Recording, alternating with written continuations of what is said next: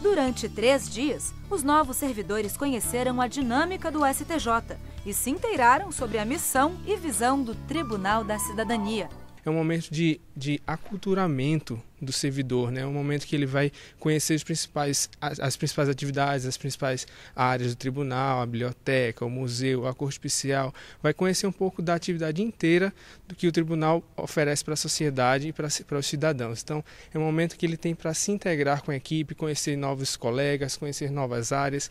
No segundo dia de visita, eles conheceram a Coordenadoria de Rádio e TV do STJ Adriana se impressionou com a estrutura da rádio e da TV do novo local de trabalho.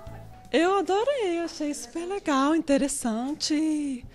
Acho que o tribunal, né, o órgão tá é uma chance muito boa para gente, né? Assim, eu gostei bastante.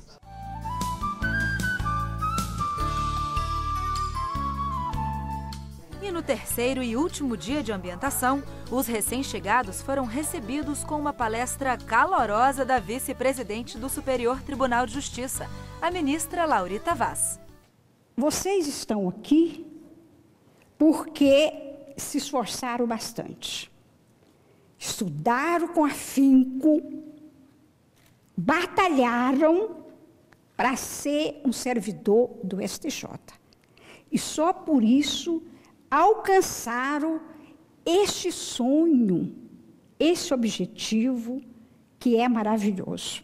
Entre conselhos e histórias, a ministra falou sobre a importância e a responsabilidade de cada servidor dentro do poder público. Imagina a importância de ser um servidor do Tribunal da Cidadania.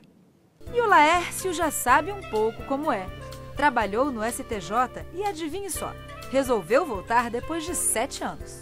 Não me adaptei a, ao novo órgão é, onde eu trabalhei, na, na Justiça Militar.